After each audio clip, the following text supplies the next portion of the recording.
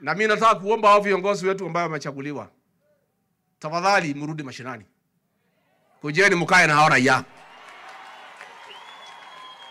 Come back here na mkuje msikize ground vile wananchi wanasema, ndio tuweze kumsaidia huyu kiongozi wetu. The way to help our president is to come here and listen to what people are saying and then go and inform him what the people are saying.